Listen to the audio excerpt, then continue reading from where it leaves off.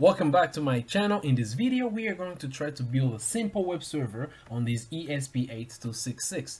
Now, we have different versions of ESP8266. In this tutorial, we have the Wemos D1 R1 and the Wemos D1 uh, Mini.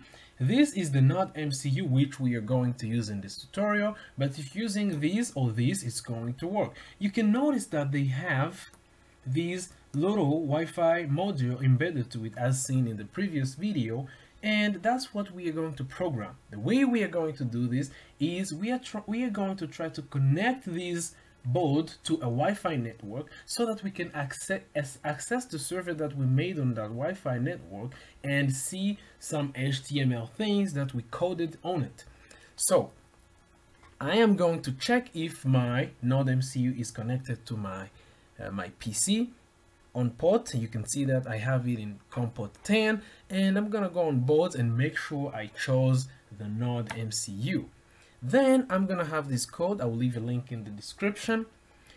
Uh, the first thing to do or notice is you can see that we have these include ESP82 Wi-Fi. These are libraries that allow us our, allow our ESP8266 to get connected to the Wi-Fi. These allows the ESP8266 to get to you know to make a client to be a client on a local area network you know on a router or something and this allows us to host a server. So the next important thing we need to do is to specify the SSID which is available in our location. So in my case this is my SSID this is my password.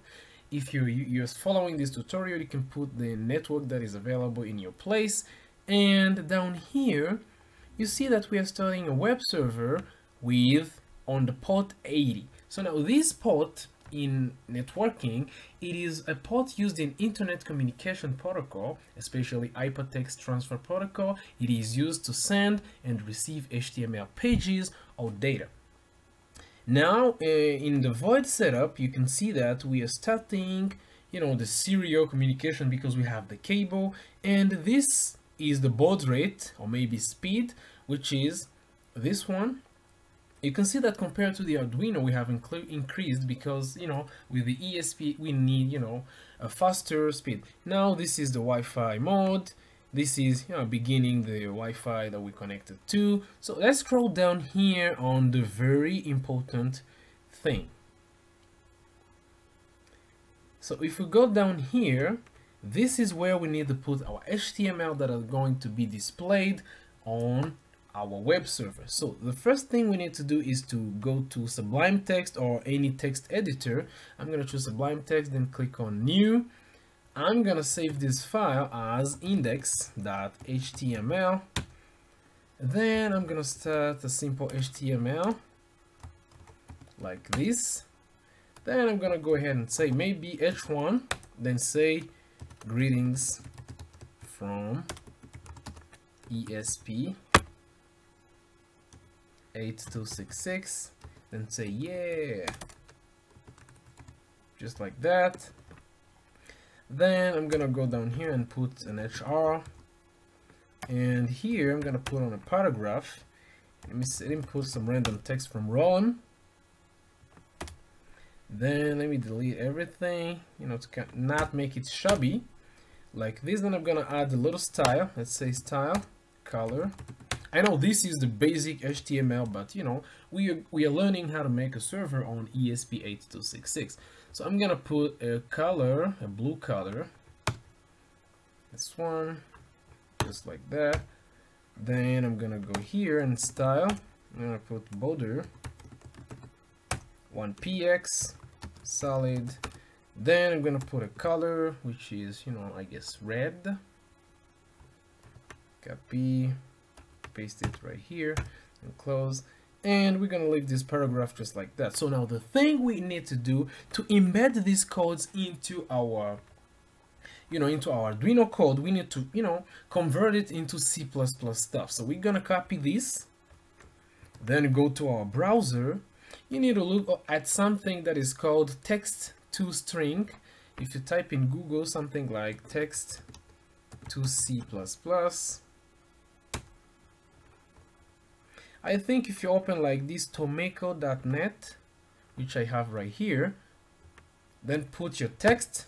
So you can see down here that I mean put the text from the you know the HTML but first let's see how our HTML is looking. I'm gonna save it then go to the file where I saved it then open with Chrome you can see how this looks so now we need to send these these file these things onto our server using ESP8266 so I'm gonna close everything, then go to, so you can see that here it is saying split out into multiple lines. So we need it in one line, I'm gonna uncheck that, then go ahead and convert. So I'm grabbing this, I'm gonna copy it, then go back to my Arduino codes, then paste it right here. So now the next thing we need to do is to upload this sketch onto our ESP8266. Now, if everything works perfectly, we're to see the result. So let's wait a little until the sketch is uploaded. We have an error, which is this one right here. We need to close it. Okay, yes, it's here. Just like that. Then let's check again. Now it's done compiling. Let's go ahead and upload these.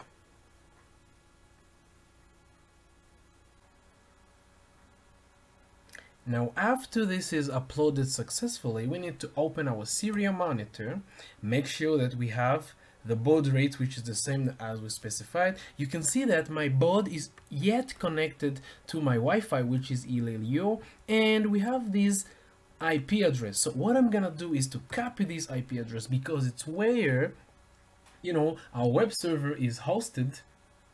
Then I'm gonna go back to my browser and try to put this IP address and see what we have.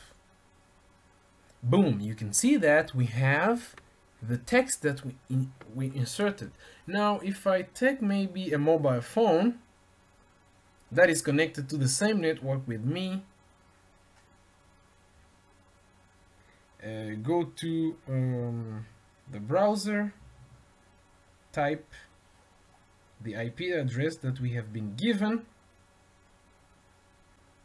now if I go to a mobile phone then try to type try to type the IP address that we have seen in the serial monitor then click on it then go if I am on the same network with this ESP8266 you can see that I have the page that we made on on this mobile phone. So this is how to make you know a simple web server on ESP8266. If you like this video, please don't forget you know to like, comment and subscribe and until next time, peace.